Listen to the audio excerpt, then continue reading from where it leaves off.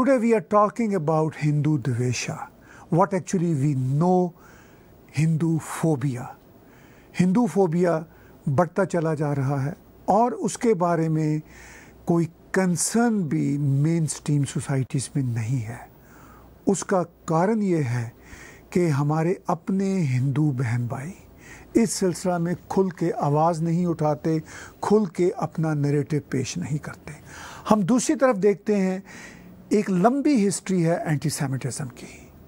ہمارے جوز brothers and sisters نے اپنی سپیس کلیم کی اور ان کو دنیا بھر میں اپنی سپیس ملی تمام تر دقتوں کے باوجود۔ ہم مسلم برادری میں دیکھتے ہیں، ان کو محسوس ہوا کہ ہمارے خلاف بات ہوتی ہے، خاص طور پر نائن الیون کے بعد اسلاموفوبیا کی ٹرمینالوجی کوائن ہوئی اور ان کے خیال میں یہ ان کا پرابلم تھا اور انہوں نے اس کو پولیٹیکلی اتنا آگے بڑھایا کہ اب کسی بھی ویسٹرن کنٹری میں ذرا سی بات کو بھی اسلاموفوبیا کے نام سے دیکھا اور سمجھا جاتا ہے۔ اسی طرح ہم سکھ بہن بھائیوں کو دیکھتے ہیں، وہ بھی اپنی آئیڈینٹی اپنی انٹیگریٹی کے لیے بھرپور طریقے سے آواز اٹھاتے ہیں۔ ذرا سی کہیں پر انہیں محسوس ہو کہ آواز اٹھتی ہے تو وہ کوئی کسر اٹھا نہیں رکھتے پولیٹیکل ایوانوں کو ہلا دینے کے لیے۔ آن دا ادر ہینڈ ہمارے جو ہندو بہن بھائی ہیں، وہ بہت ہی زیادہ ہمبلڈ ہیں۔ ان پر اتنے اٹیکس ہوتے ہیں کہ یہ کوئی آج کل کی بات نہیں، صدیوں سے ایسا ہوتا چلا آ رہا ہے۔ شاید صدیوں کی ہی وہ سائیکالوجی بنی ہوئی ہے کہ اپنے اوپر ظلم کو وہ برداشت کرتے رہتے ہیں اور اس پر آواز بھی نہیں اٹھاتے۔ میں خود کو بار بار کہتا ہوں کہ آئی ہندو بورن ان مسلم فیتھ ہمارے ہاں مسلم امہ کا ایک ورڈ ہے۔ میرے لیے جو امہ میری ہے وہ ہندو برادری ہے۔ بیکاز امہ کیا ہوتی ہے؟ وہ سویلائزیشن وہ نیشن وہ قوم جس کے ساتھ آپ محسوس کریں کہ آپ گھنٹوں بات کر سکتے ہیں، سالوں جی سکتے ہیں مل کے۔ یہ ہے میری اماں جو ہندو سیولائزیشن کے ساتھ جڑی ہوئی ہے۔ جب میں اپنی ہندو سویلائزیشن کے بہن بھائیوں کو دیکھتا ہوں تو وہ اس سلسلہ میں سب سے کم آواز اٹھاتے ہیں نریٹو بھی نہیں ہے، کوئی بھی ایسی بات نہیں ہو رہی۔ لیکن ایک تھوڑا سا ریلیف مجھے کچھ سالوں سے دیکھنے، سننے اور مشاہدہ کرنے کی حد تک مل رہا ہے کہ خاص طور پر امریکہ میں وی ایچ پی والے یا امریکن جو university, Hindu university of America ہے، world Hindu council of America ہے، ہندو امریکن فاؤنڈیشن ہے، اس طرح کے جو ادارے ہیں، وہ اب اس بات کو اٹھا رہے ہیں جو سسٹیمک ہندو فوبیا، ہندو دویشا یعنی جو اس کا ایگزیکٹ ہے، وہ اس پر آواز اٹھا رہے ہیں۔ لیکن ابھی یہ آواز بہت دھیمی ہے، اس طرح کی نہیں ہے جس طرح دوسری برادریاں اپنے حقوق کے لیے اپنی آواز اٹھاتے ہیں اور اپنی سپیس کو کلیم کرتے ہیں یا ری کلیم کرتے ہیں۔ اسی عمل کو آگے بڑھانا ضروری ہوگا۔ اسی پر بات چیت کے لیے آج میں جڑا ہوا ہوں کلیان وسوا ناتھ جی کے ساتھ، جو ہندو یونیورسٹی آف امریکہ کہ بہت ہی امپورٹنٹ فگر ہیں اور ان کے ساتھ ساتھ جائے بنسال جی جو World Hindu Council of America کے ساتھ جڑے ہونے کے ناطے ہندو برادری کے لیے بہت کام کر رہے ہیں۔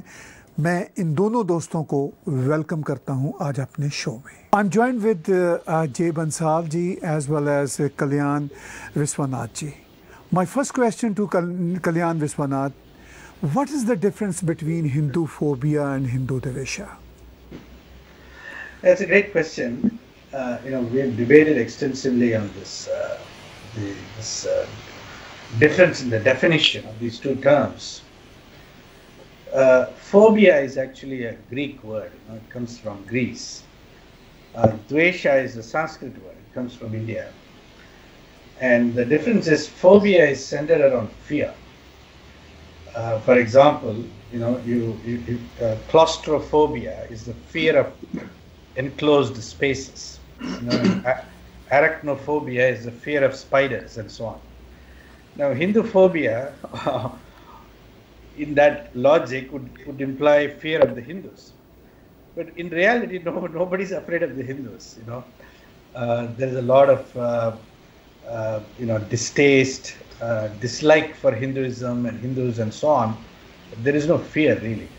Dvesha, on the other hand, is more directly uh, representing hatred or uh, uh some some sort of uh, intense disdain or dislike for Hindus and Hinduism.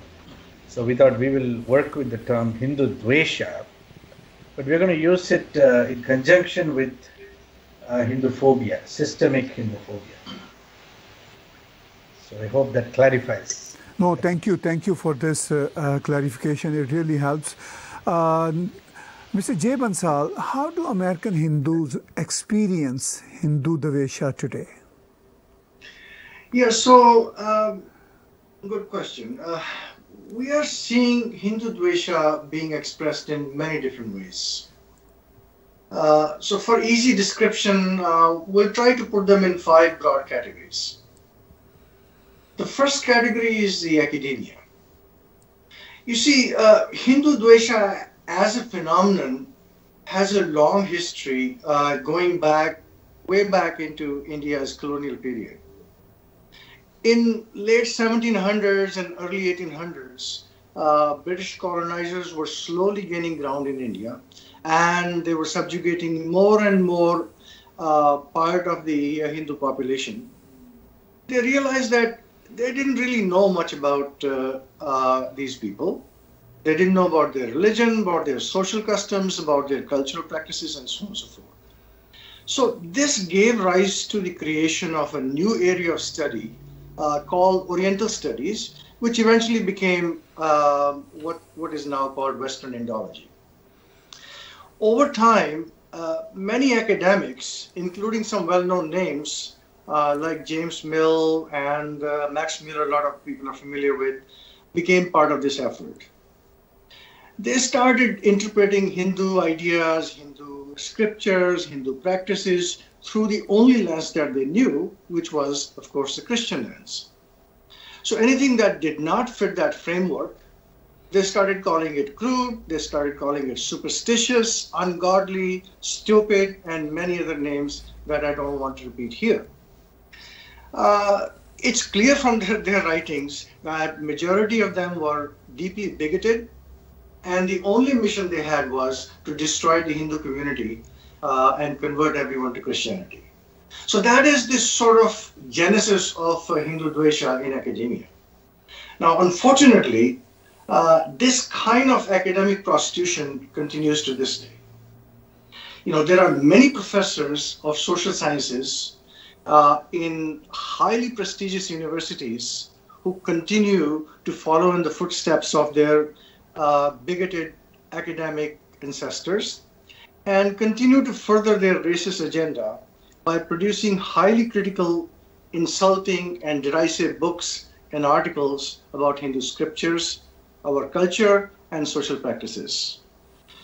Unfortunately, uh, their drivel continues to show up in school textbooks, online media uh, like Wikipedia, and generally shapes the uh, perception of the Western society about Hindus. So that's about academia. Uh, the second uh, category is the entertainment industry. Uh, for a long time, the movies, uh, both from Hollywood as well as Bollywood, have been showing Hindu characters in bad light. Uh, they show them as either clownish or moronic or hypocritical or cruel criminals. Uh, this is now spreading to various streaming services and becoming even more apparent. Uh, the third category is, uh, is the news media. Now, I have to say that traditionally, uh, news media in the West has been more or less neutral on Hindu issues. However, in the last few years, it's turned decidedly biased against Hindus. Uh, for instance, you will hardly find an article in uh, New York Times or Washington Post in the last five, six years that can be considered remotely balanced from Hindu point of view. Uh, the next category is the social media. Well, less said about social media, the better. You know, it's become a place where everyone feels empowered to say anything on any subject. You know, whether they know anything about it or not. Unfortunately, we cannot ignore it because it informs people's perceptions about, about Hindus. And unfortunately for Hindus, there are certain very well organized and media savvy organizations which are flooding this communication channel with uh, hateful messages about us. The final uh, group that I want to talk about is uh, the organized syndicates. I alluded to uh, it, you know, these groups a little bit in uh, in my uh, comments about the social media, but social media is not all they're doing. They're actually also publishing so-called research reports of, you know, highly questionable pedigree, and they try to show Hindus as hierarchical and socially oppressive society. Uh, they are typically sponsored by big money, which makes it easy for them to garner a lot of influence in political circles. So, Kalyanji, here question arises is this Hindu Dvesha systemic or instigated by some particular anti Hindu groups or both? Yeah, so I think it is both actually. You know, my feeling is that uh, uh, I would say there are two kinds of Hindu Dvesha uh, I would call it uh, blatant Hindu Dvesha and blind Hindu Dvesha. You know. So blatant Hindu Dvesha, which is explicit and overt, doesn't even try to hide its discourse as some kind of uh, neutral commentary on the Hindus, is driven by uh, organizations that are motivated and uh, you know we, who, who have uh, who are running a campaign of some kind uh, you know, they sign petitions. They, they're very active uh, in terms of, uh, you know, demonizing the Hindu community, uh, delegitimizing the Hindu community, and so on. Blind Hindu Dvesha is more systemic. It doesn't occur for people uh, that they are being Hindu Dvesha. It's just that it's become normal, you know. Just uh, the great example is this uh, this Charlie Hebdo cartoon that just came up. Uh, I don't know if you can put up that cartoon, but you know they they right in the middle of this uh, extraordinary uh, pandemic, the second wave of the pandemic in India. Uh, Charlie Hebdo published a cartoon in which they showed all these people lying on the ground dying in India, and uh, the caption was, you know, 33 million gods and not want to give them oxygen, some such thing, you know. And this is very, very insensitive, and uh, uh, it's almost like a kind of a blind Hindu, Hindu dvesha, you know. It's uh, uh it's so baked into the system that it becomes very normal. And unfortunately, Hindus will not react to it at all. They won't do anything. Uh, there is no such thing as a, response to this. So, uh, so it goes on and on. There's no, there's no fear of consequence so therefore, anybody can say anything to get, get away with it. That's the problem. That's systemic. So it's both actually. So Jay Bansalji, is Hindu Dvesha increasing and if so, why? Yeah, so unfortunately Hindu Dvesha is uh, on the upswing in pitch as well as in volume. In fact, hardly any day goes by when you do not see something negative about Hindus in news media, social media, or academia. What is interesting is that the same news piece keeps bouncing around in various media channels, usually with little or no change as it goes around from one media type to another. You know, it often feels like uh, they're all working in tandem in an echo chamber we're just ricocheting each other's news pieces. You know, sadly, this gang does not miss any opportunity, no matter how gruesome or how tragic, uh, to find something bad to say about Hindus. My colleague Kalyanji just talked about this Charlie Hebdo uh, cartoon, uh, which, you know, in very unfortunate circumstances for India right now, uh, they find something nasty to say about the situation. So, uh, to second part of your question, why is uh, Hindu Dvesha on the rise today? I think there are many reasons for it, uh, uh. Certainly, the advent of uh, the social media is uh, one reason. See, it's so easy to use, doesn't require any particular skills or qualifications or any knowledge of the particular issue that you're commenting on. In fact, you can make something up on the spot and pass it on as real. The beauty is that there's plenty of people around the globe who are happy to take your message and without an iota of thought, lob it over the fence to others. And uh, the end result is that it starts going around the globe in a matter of seconds. The second reason has to do uh, with Hindu community uh, becoming more aware of this phenomenon. And they're beginning to speak out. You see, uh, during the colonial period, the Western world developed some really bad social habits. They got into the habit of pontificating about any and all matters pertaining to Hindus. Hindu society, of course, had no choice but to put up with their nonsense.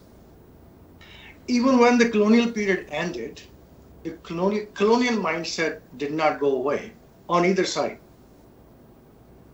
Now, as Hindus started becoming more and more aware of what has been done to them over the centuries, and uh, that you know they have been fed total BS about their history and their heritage, they became more assertive and began to speak out against it. This obviously does not sit well with the Western world, which had gotten used to Hindus being totally docile on the world stage. Um, finally, there is a blowback uh, effect on the political events that take place in India.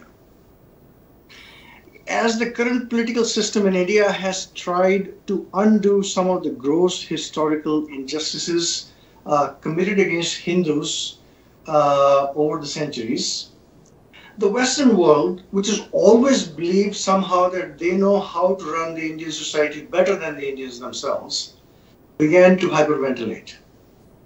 Uh, naturally, anything they did not like, they called it oppressive, backward, Hindutva, and other epitaphs that would show us in bad light. So, yeah, there are many, many, many reasons why Hindu Dvesha is on the rise. So, Jay Bansalji, what is the impact of rising Hindu Dvesha on the Hindus?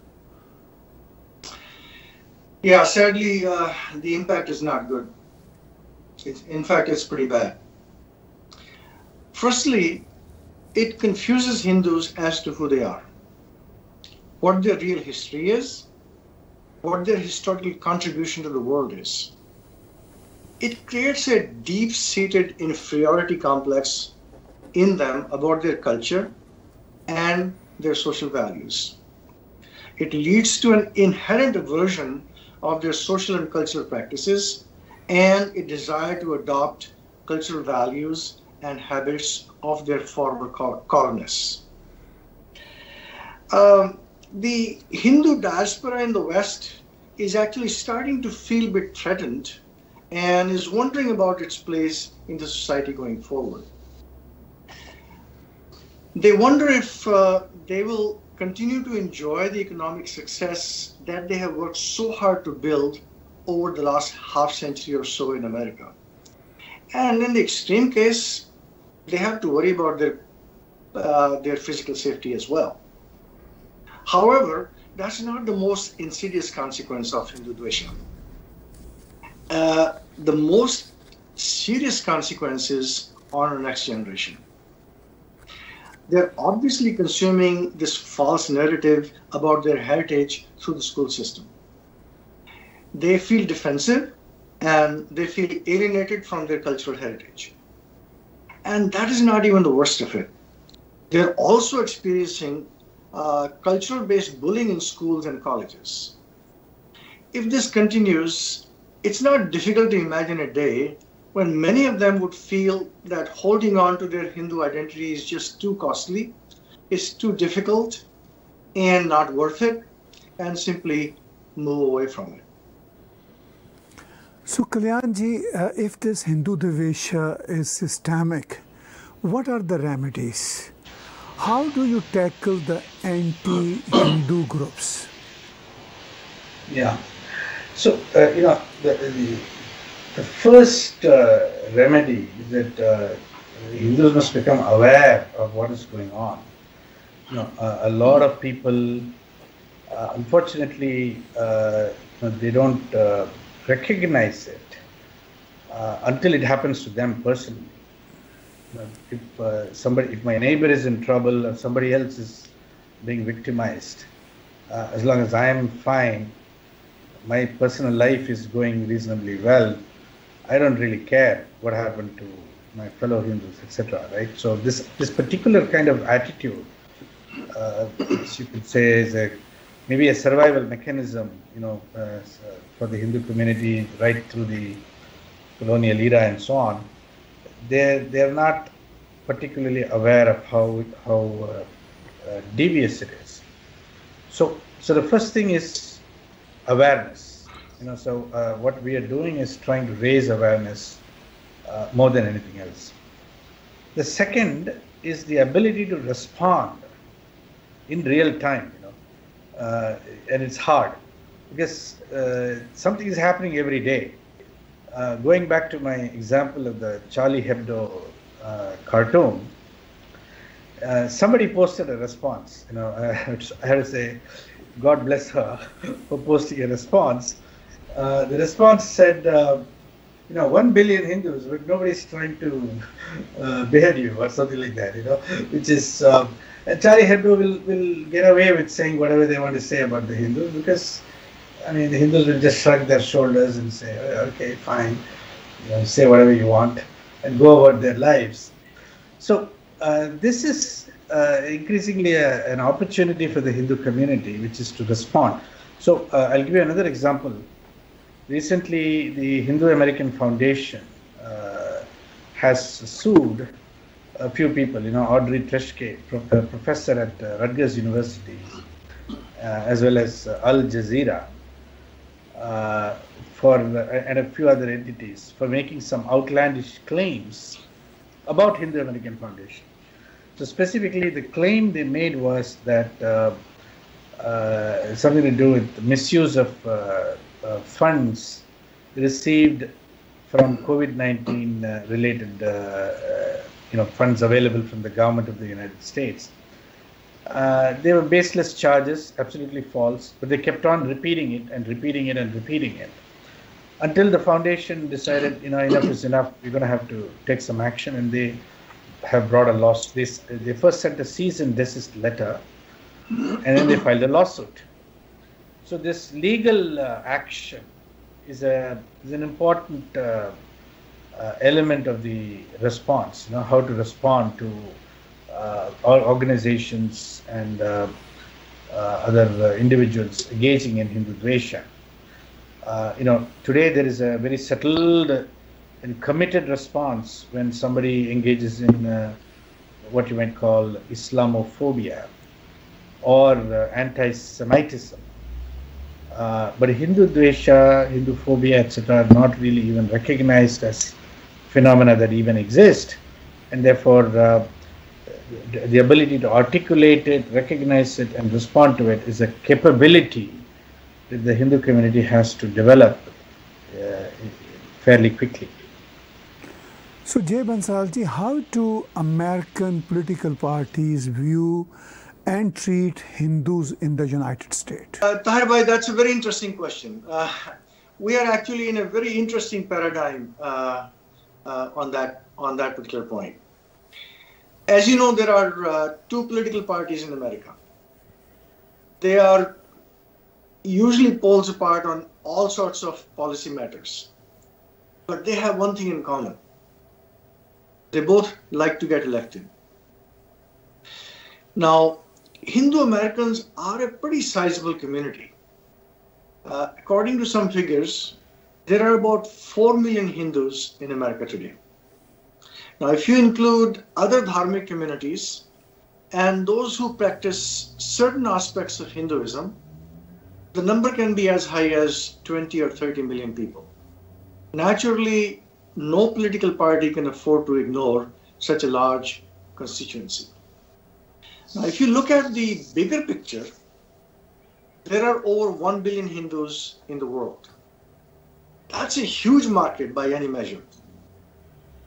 In addition, there are many geopolitical circumstances that give India and Hindus a strong position for any social bargain. The problem is that Hindus haven't yet learned how to use their political muscle. They organize fundraisers for politicians, but then they don't know how to articulate what they need from them. Uh, they're more interested in taking pictures with these politicians so that they can impress their friends with their political clout. However, I believe that it's only a matter of time that this will change because I believe adversity makes people smart. I think Hindus will learn how to use their political power to get better bargain in the society than they're getting today. Uh, I hope it happens sooner than later, but I feel it's in, inevitable uh, because the alternative is too painful to contemplate.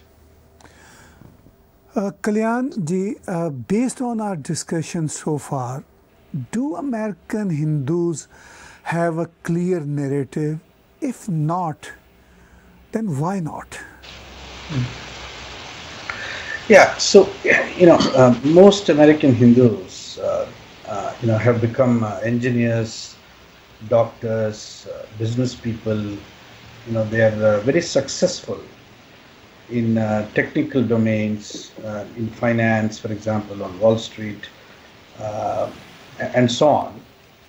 But they they are not particularly grounded and knowledgeable in the humanities, the social sciences, the liberal arts, and so on. Uh, what that does is uh, our knowledge and understanding of uh, narratives uh, themselves, how they get constructed, how they have been constructed, uh, and how they continue to be constructed, is pretty cursory, pretty weak. So often, what happens is, uh, you know, we don't even recognize that what we are hearing today as an isolated incident uh, in the New York Times or in the on the BBC or in the Times of India uh, is just the latest uh, episode in a grand narrative about the Hindus that's been constructed over a 200 year period. we don't understand it. We just experience it as one isolated incident.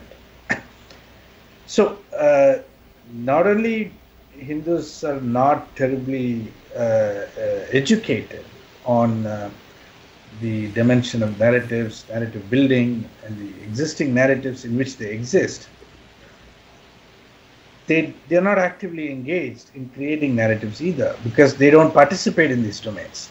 For example, it's very rare, you know, that CNN or uh, MSNBC or Fox News or any one of these channels invites a person uh, as a Hindu to speak about a particular topic. You know, people may show up as physicians, you know, as successful Silicon Valley entrepreneurs, uh, you know, as chief executives of big corporations, um, and so on. You know, as even as professors of uh, various technical disciplines, uh, a neurosurgeon or a uh, you know, uh, a professor of computer science or artificial intelligence and so on. So there is a lot of uh, Hindu presence in uh, deeply technical domains.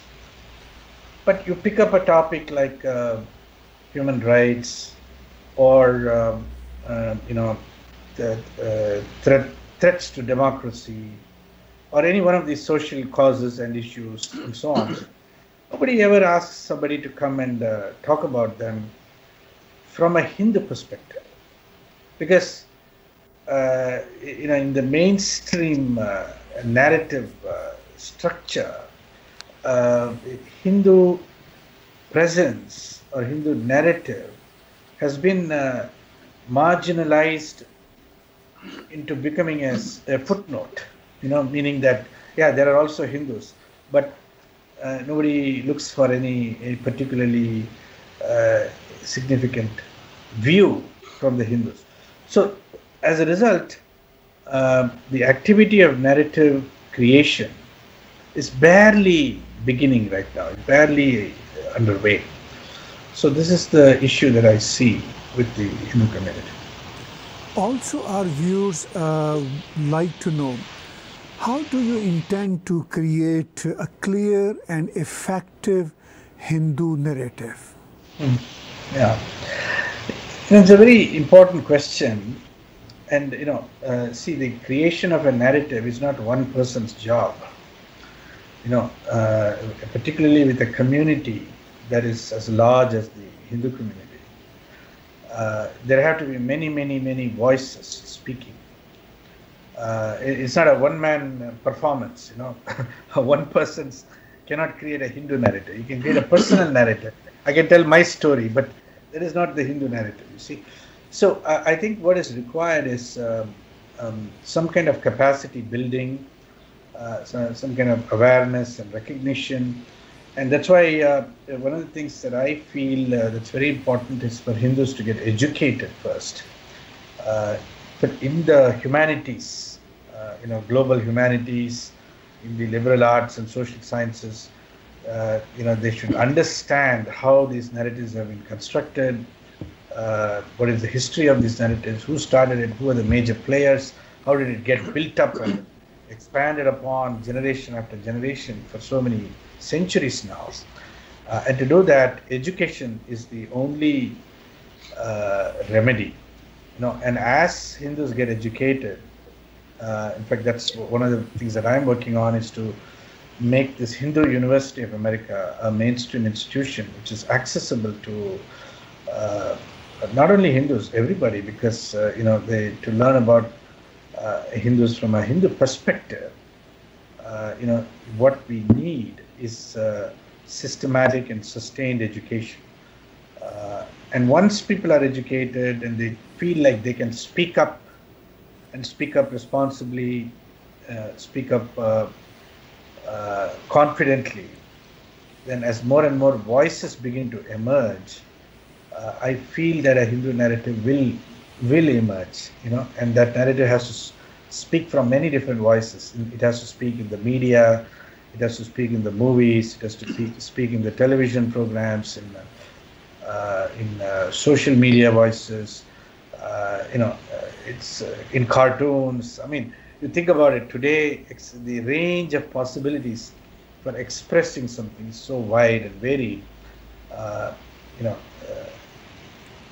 so slowly, I, I hope that there'll be an increased, an increasing presence of Hindu voices in the public square where narratives are created and, and built over time.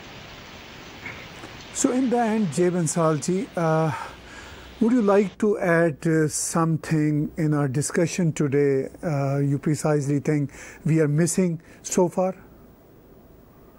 I think we covered a lot of uh, a lot of topics, uh, uh, uh we uh, clearly we know that Hindu Dvesha is something that we need to tackle. And as Kalyanji said, in order to tackle, we have to create a counter narrative. And counter narrative can only be created uh, by knowing what the facts are. Uh, you know, you cannot you cannot just uh, uh have some idea in your head and start playing it out in the public square without actually having some facts behind it. So uh, I think educating ourselves is is the key, uh, and I look forward to a day day when we have enough foot soldiers in this you know in this in this uh, uh, battle for reclaiming our uh, our heritage and and you know reestablishing the truth about about our heritage. Um, I think we will explore uh, different aspects of uh, this issue perhaps in uh, future uh, future conversation of this type, Tahir bhai. But I think for now, maybe we can park it here. Thank you very much, friends. I really appreciate for your time. This is very, very important issue, and we all need to focus on it, and we all need to curb Hindu Dvesha or what we call Hindu phobia as well uh, from our societies. Absolutely, it is uh, it is required. Thank you very much once again uh, you. for your participation, for your time today. Thank you. Thank you very much. Thank you. Thank you. You are watching Candid Talk on concerning issues of rising Hindu phobia in my show today آج ہم نے کھل کے بات چیت کی ہے ہندو phobia ہندو دویشا کے سلسلہ میں جو یہاں پر انوائرمنٹ بڑھتی چلی جا رہی ہے، اس کا کیا کنسرن ہے نیریٹو کیا ہونا چاہیے اور اس نیریٹو کو بلڈ کرنے کے لیے پوری ہندو کمیونٹی کو، امریکہ کی ہو، کینیڈا کی ہو، ان کو کیا کام کرنے چاہیے؟ ابھی میں نے پیچھے انٹرو میں امریکن ہندو آرگنائزیشنز کا ذکر کیا، کینیڈا میں ہندو فورم، کینیڈا بھی سلسلہ میں اب فرنٹ لائن پہ آ چکے ہیں، وہ بھی بھرپور کام کر رہے ہیں۔ میرا خیال ہے، اب ضرورت اس بات کی ہے کہ امریکن، کینیڈین اور یورپین اور آسٹریلین جو ہندو آرگنائزیشنز ہیں ان سب کو مل کے، پوری دنیا سے ان سب آرگنائزیشنز کو مل کر جو رائزنگ ہندو فوبیا اس پر بھرپور طریقے سے اپنے حقوق کے لیے آواز اٹھانا چاہیے، اپنی سپیس کو کلیم اور ریکلیم کرنا چاہیے۔ ٹیک ٹی وی پر میرے ساتھ آپ اس بہت ہی برننگ ایشو پر آنے والے دنوں میں بہت سارے شوز دیکھیں گے۔ آج کا شو دیکھنے اور سننے کا بہت شکریہ۔ آپ ہمارے یوٹیوب کے چینل کو سبسکرائب کیجیے۔ اس کے ساتھ ساتھ آپ ہمیں پے پال کے ذریعے یا پیٹریون کے ذریعے یا ہمیں آپ ہماری ویب سائٹ پہ یا یوٹیوب کے چینل پہ جا کے ڈونیٹ کے بٹن کو کلک کیجیے تاکہ ہمارا جو نیریٹو کا پریوار ہے، یہ اسی طرح سٹرانگ طریقے سے آگے چل سکے۔ آنے والے دنوں میں ہم پورے کا پورا پلان آپ کے ساتھ شیئر کریں گے کہ کس طرح ہم آپس میں مل کر اس ہندو فوبیا کے کینسر کا خاتمہ کر سکتے ہیں۔ ایک بار پھر آپ سب کا بہت دھنیواد، بہت شکریہ۔